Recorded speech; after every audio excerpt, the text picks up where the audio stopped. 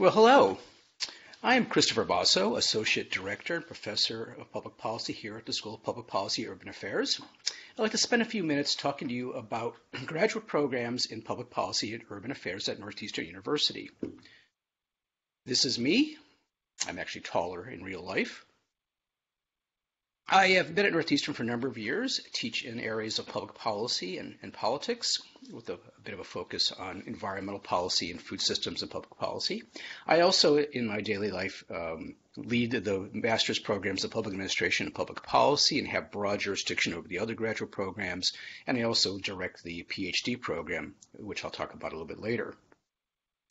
The agenda for this uh, talk is I'll spend a few minutes about Northeastern University as a whole, about the School of Public Policy Urban Affairs, and then walk you through our various graduate program options.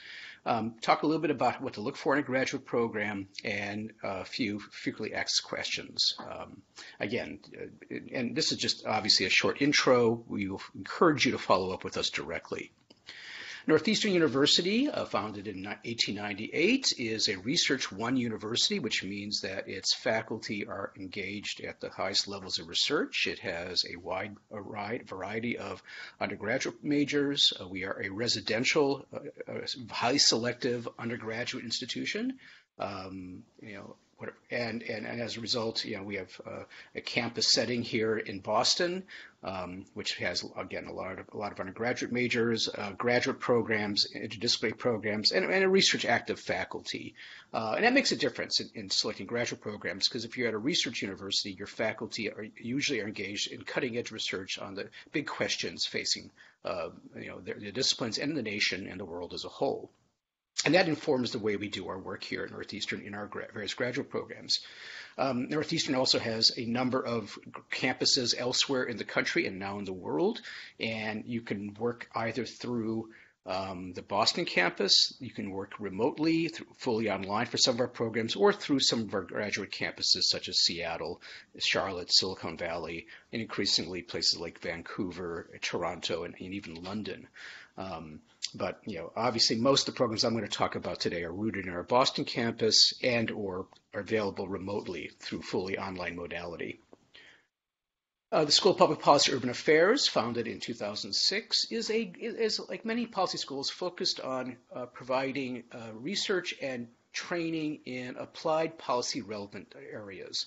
Um, again, you know, as a research university, the faculty are well versed in the theoretical kinds of research you would find in most disciplines. But as an interdisciplinary policy school, we bring together people from different disciplines to focus on the big questions uh, confronting uh, public life. Um, you know, from climate change to urban uh, uh design to how do we think about resilient communities to how do we build a sort of better world. And, and training students to think in terms of applying their knowledge to everyday challenges in whatever career they're going to uh, uh, uh go. And so we are a uh, interdisciplinary school. Our programs share a lot of, of, courses, and students in our programs interact with each other. We have a very strong focus on experiential learning, um, as I'll talk about. We, we think a lot about what are the practical solutions to the problems we face. And we train our students to think in terms of how do we address complex problems, how do we serve our communities, and how do we build a better world, I mean, a more just, sustainable, and resilient world. And that's really what motivates us as a policy school. Um, careers in public policy are diverse. Um, they are not just in, quote, the public sector. They are in a broad array of sectors, including the private sector. Um, obviously, typically, most of our students go into public and nonprofit, nonprofit sector settings, but that will vary by the program and vary by the student. We do have students that who do go into the private sector, but right now, most of our students are going to the public and nonprofit sectors, you know, locally, state, national, and international and, and, and not just the United States. Uh, uh, many of our international students go home to their home countries and work, you know, there in, in those various sectors. Typical entry-level positions, as it says here, you know, policy or budget analyst, program developer, program manager, you know, evaluator, auditor, assistant planner, assistant director. Again, people at the entry level are going into these positions where they are, you know, in organizational settings or they're doing policy relevant work at that sort of entry level. But obviously, with time and experience, you rise up. It's, it's you know, not at all unusual for our students to end up working as city manager or agency heads, or they're running a nonprofit organization, or they're directing economic development in a city or a town or at the state level. Uh, they're working in state agencies. Um, so again, the trajectories are diverse. The skill sets are transferable. It's not unusual for students to go between the different sectors over the course of their careers. Um, and you know, and, and the pathways are much more fluid and diverse than you might expect. Um, and you can check the kinds of positions that are available out there through this website, publicservicecareers.org, get a sense for what's out there. And we're happy to talk to you about our own student experiences if you want to explore more fully. I also encourage you to check our website um, where we have student experiences listed on there. And again, we are always happy to have you talk to current students, talk to alumni, um, and, and find out information in any way you can. Um, there are a couple of different ways to enter our graduate programs. Uh, the traditional way is you go through a master's program directly. Um, you know, for example, if you enter the public administration program directly, um, you could add on a graduate certificate if you wish in nonprofit sector philanthropy and social change, uh, because most of the programs, the programs all have a sufficient number of free electives that you could add on a graduate certificate um, or a concentration. These grad certificates are standalone. You could you could come into Northeastern and just get the, a, a, graduate certificate in urban analytics, which will be three courses. All the certificates are three courses. And then if you decide, and if you decide you want to pursue a master's, you could take your grad certificate, you know, apply for and enter the say the master's degree in urban planning and policy, and the grad certificate will apply toward your master's degree. The grad certificate and the master's are both standalone. You can enter, the, you know, the, our, our, programs through either gateway. Um, they're designed to be complementary and stackable in many respects. Uh, or you can get a master's degree and add a certificate to your master's degree by using your electives. We also have an array of concentrations that are not standalone, uh, such as health policy and management, sustainability and climate policy. Um, you know that, but we don't list those. But those are concentrations available to our master's students. So we have a lot of different way pathways here to talk about. Let me talk about, about the different programs. Our, our, our, first program is our oldest program, the Masters of Public, Public Administration. It is, you know, as we say, the management degree for people seeking to serve the public good in the public and nonprofit sectors primarily. I mean, we are developing people who are going to lead and manage public and nonprofit sector organizations. And so as a result, we focus on leadership skills, organizational theory skills, understanding budgets, understanding, uh, you know, human you know, how to work with people, um, you know, and really understanding, you know, how to be a, an effective leader in the public and nonprofit sector settings.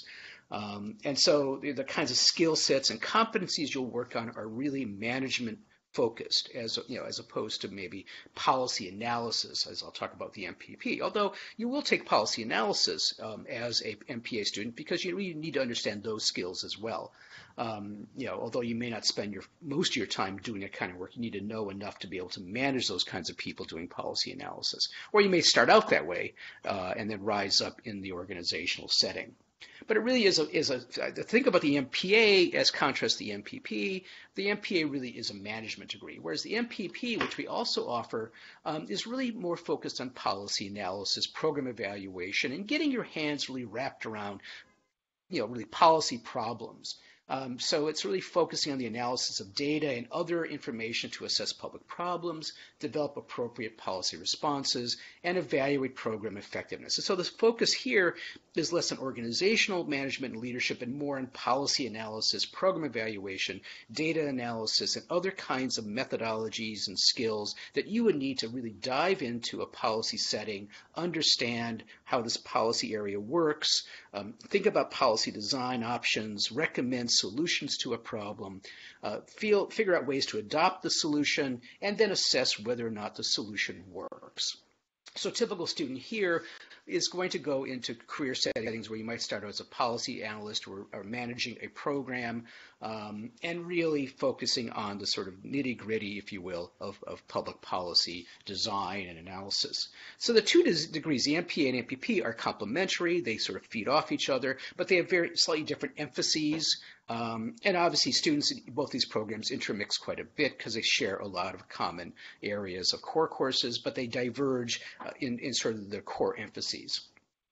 The Master's in Urban Planning and Policy um, uh, is really a marriage of traditional planning degrees and, and a policy degree. It's really focusing on training uh, students to be to sort of focus on the big problems of urban uh, areas where most of us will live or already, already living, and it's going beyond physical planning and design, which we, we provide that with the School of Architecture and our partnership with the School of Architecture. So we offer those competencies, but we also then focus on research design, statistics, economic analysis, policy, you know, so the big policy questions and, and sort of history and sort of having you think more broadly beyond physical space into broader questions of community, um, you know, policy design, how to think about the big questions that are affecting urban areas, and go and, and sort of think about communities in the broad sense. And, and, we also offer four concentrations that reflect our strengths and our focus in urban analytics or big data analytics, if you will,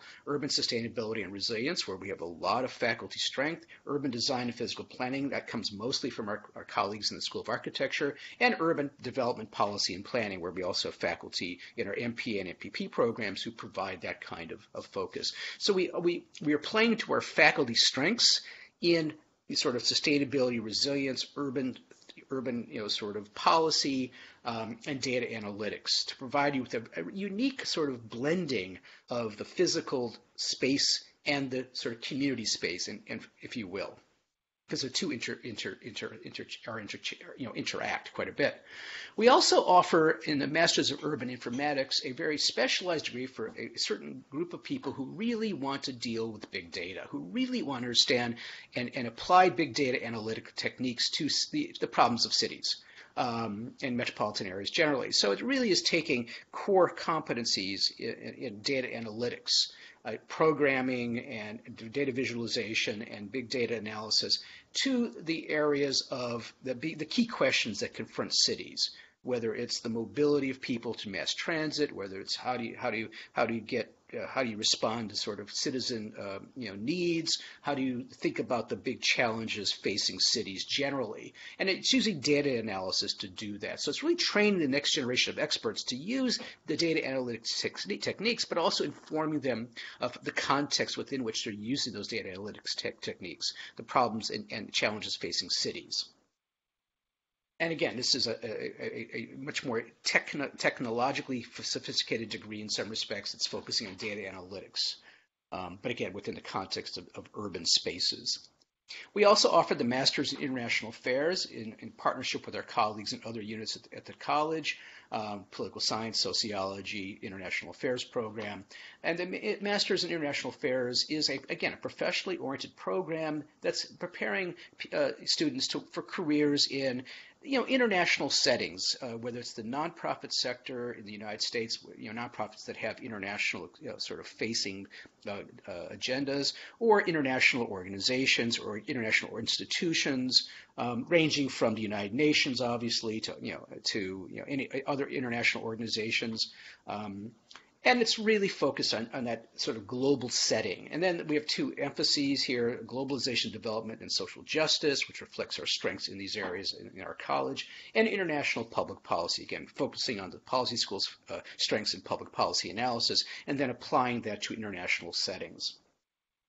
And students in, in, this program obviously looking at careers in international settings or, again, where there's international interfaces. We offer also in collaboration with the Department of Political Science, uh, the MS in Security and Resilience.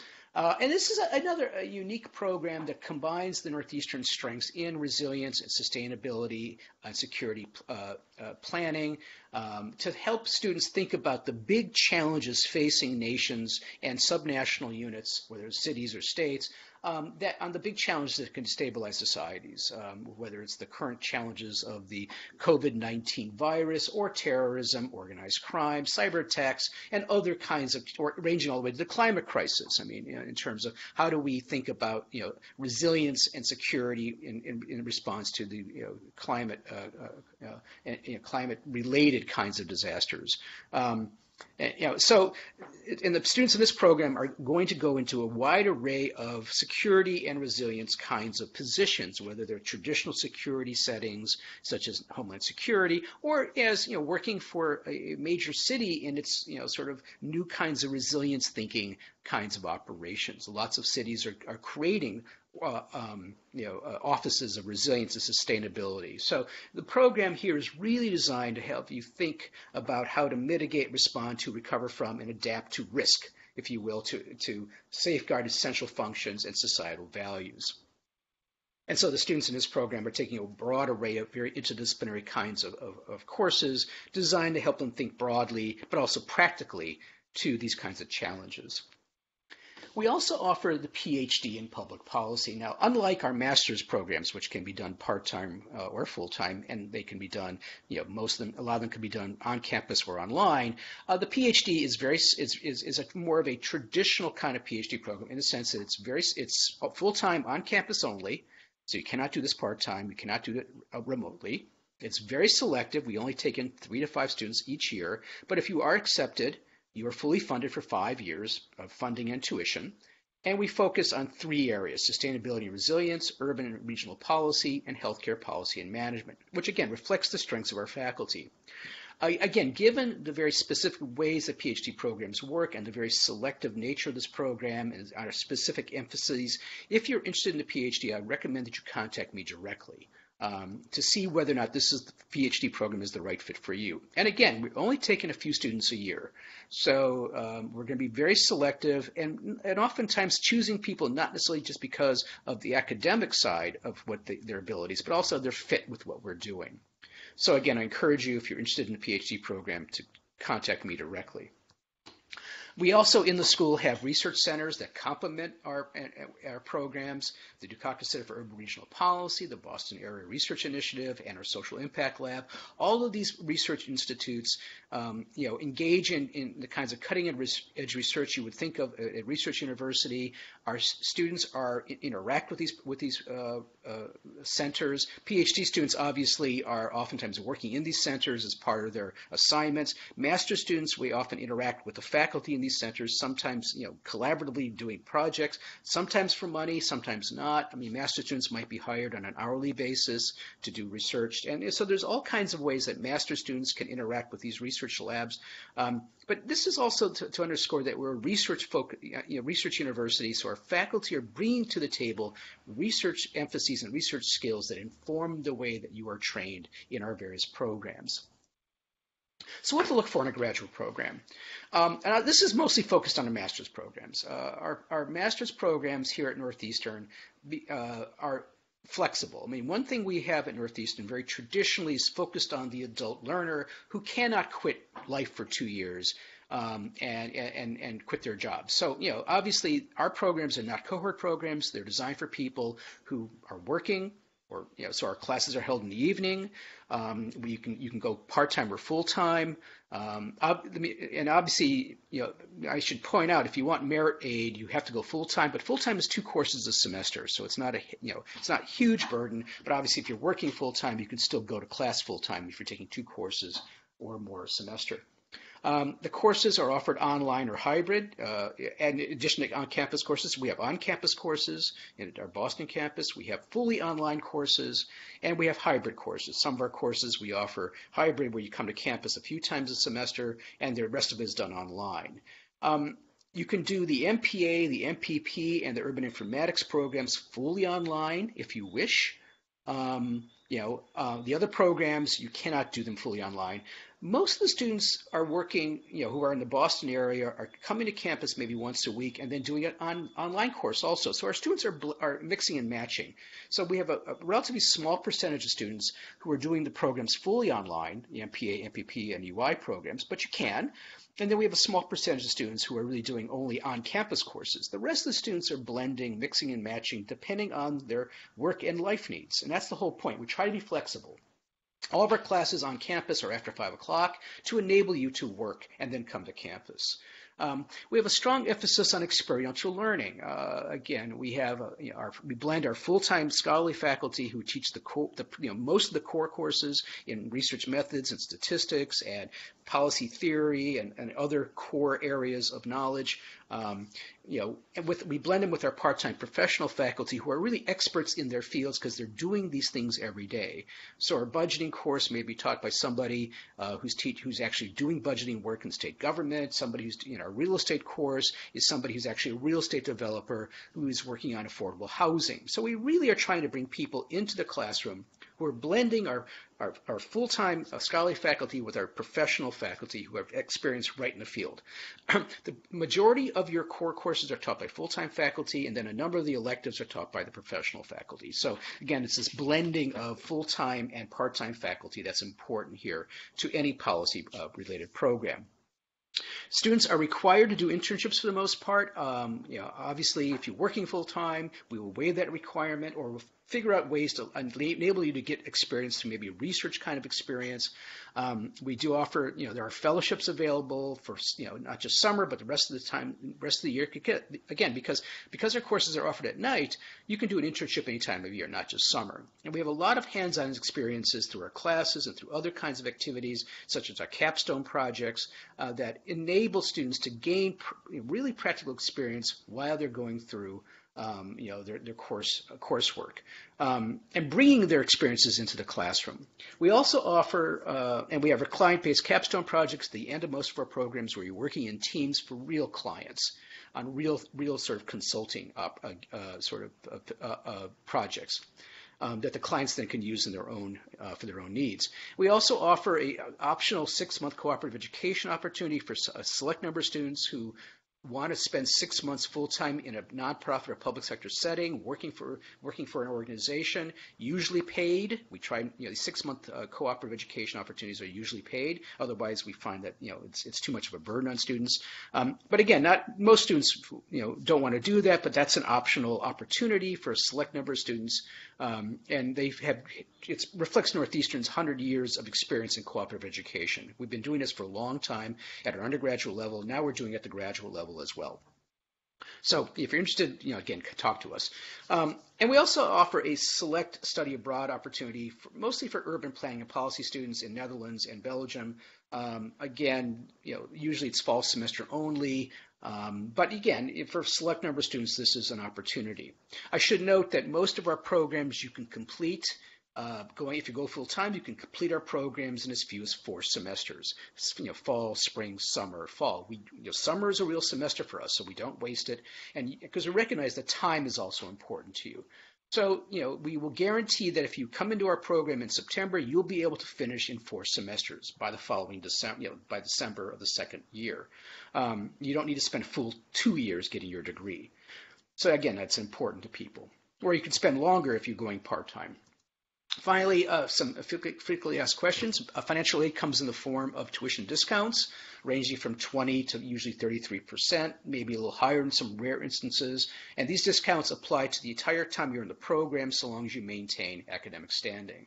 We do not have research or teaching, teaching assistantships for master's students, so you know, that's for PhD students only. Uh, and you're considered for merit uh, uh, scholarships at any time, whenever you apply for the program. It's not a separate process. The application deadlines are listed there. Um, you can enter the program, the master's programs, you can enter in September or January or in May if you wish. Um, most you know students come in you know September with a smaller group coming in January. Um, PhD is September only. That's it.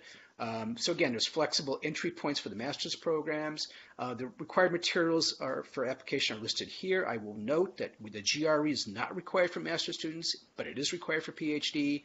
Um, if you're an international applicant and you're going to a U.S. university currently, you are not required to take the TOEFL or the IELTS or the other language exams. However, or if your international university is a medium of lang- instruction is English, we need to you know provide that proof. But otherwise, again, the, the, the, otherwise the applications are the same for domestic or international students. You know, but again, the one difference there is uh, proof of English proficiency.